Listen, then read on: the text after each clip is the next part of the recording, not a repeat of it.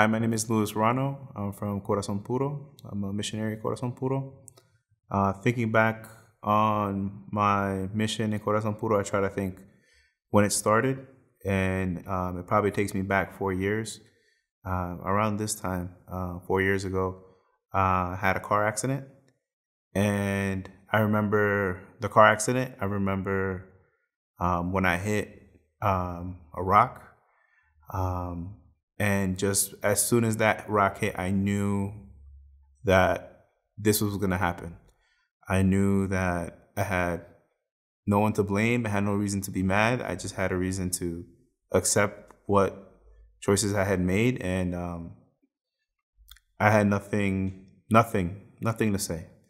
Um, I just um, started seeing how I can get out where I was, where I was, and um, just just move on. And um, talking to my friends, they started telling me, you know, Luis, I think you should think you should go to church. Um, I hadn't been to church in years, and I, I really appreciated their effort. So I started going to mass.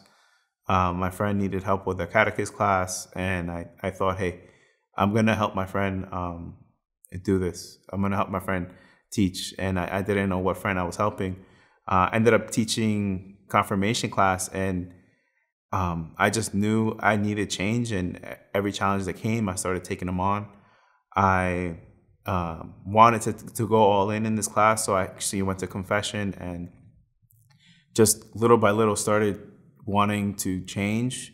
Um, when I started teaching class, I really wasn't sure what I wanted to teach or what I was going to teach, and that's when I just started just giving more time to the faith, um, listening more, and really trying to to learn things that I didn't learn as a student, or um, I feel like I was teaching myself, and um, I felt like confirmation class was a confirmation for me and as well as my students.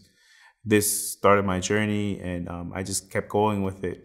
Little by little, I started wanting more, learning more, um, and I started seeking. I ended up father, finding um, Father Agustino at a talk, uh, finding Corazon Puro and I started traveling from Connecticut to New Jersey to New York to wherever Corazon Puro was. I started going, and when I went to Corazon Puro the first time, I heard their pledge, and I think that's the first time I heard God speak to me so clearly, and it was like, you know, you really want to to to go more, you have to take this pledge, and it wasn't it wasn't you know I didn't want to just take the pledge take pledge, and I just started taking that challenge on, started um, wrestling with God. Started seeing what He would put in front of me and what I would um, be able to take, what what what I would be able to handle.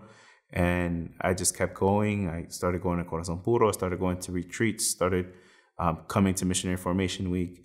And as again, it was like a wrestling match with God. And it was like, you know, you want to go another round, we can go another round. It's just gonna get harder. It's gonna it's gonna make you stronger.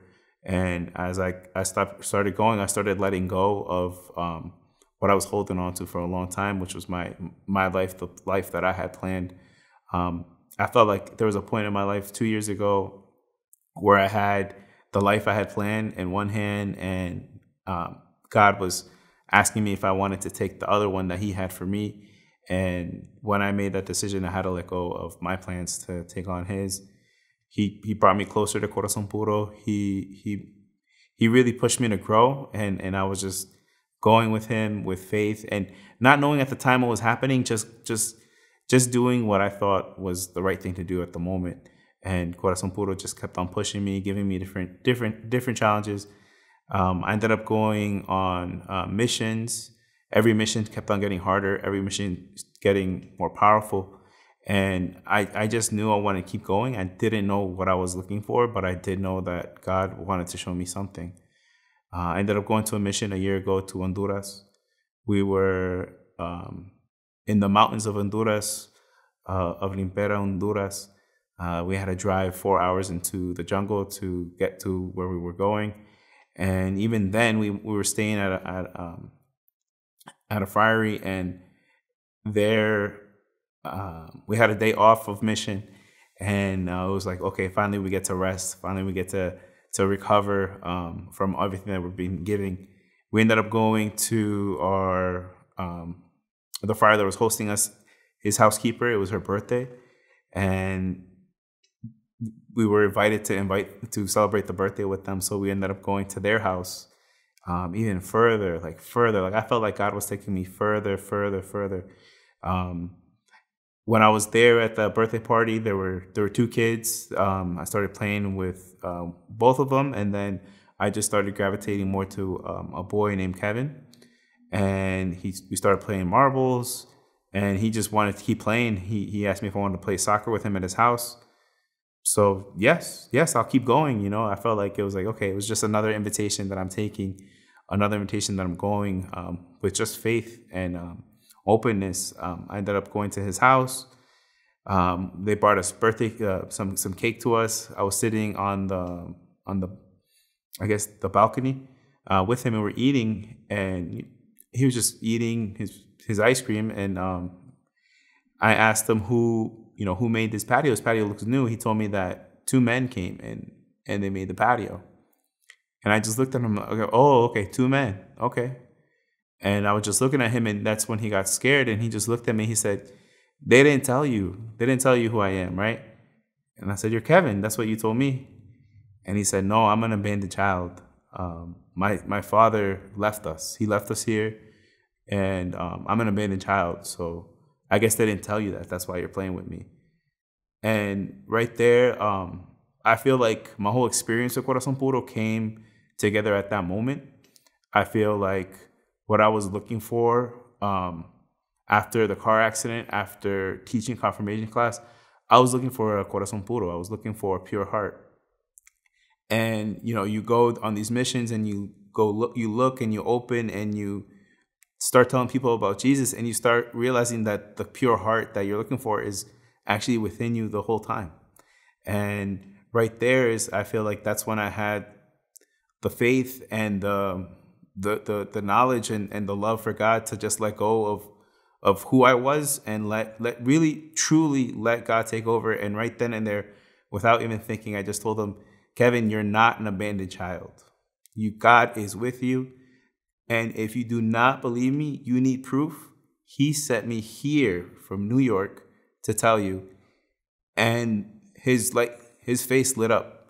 And I feel like that's when I really realized what a corazón puro was, and that was just like to open and to be a heart like God's, like a, be a heart that is willing to love and just give so much love that there's no denying it. And I think right there, Kevin had nothing, nothing to say. Like all his, his, um, all his lies were were were just slammed on, and he gave me a hug, and he just couldn't believe what I said, and I think at the moment I was still in the mindset of a missionary. It was like, this is what I'm supposed to do. And it took me some time to recover and really realize, like, oh my God, I can't believe that the person saying that was me. And um, I think, again, we're all sent to um, to look for a corazón puro. And I think people look for corazón puros and people and idols and things and they, they forget that god already made you. Like he already made you pure heart. He already made you um, willing to love him and um, we get distracted and um, it's just a time of letting go and it's just letting go is a process and it's not just said or done with one action but you feel when you do it and um, yeah, i was coming back from honduras. I, I, I couldn't believe that i had gone so far to realize that the heart that I'm looking for was my heart, and I have to keep working on it um, to to bring it out, and um, not just bring it out in me, but by bringing it out to me, bringing it out to other people.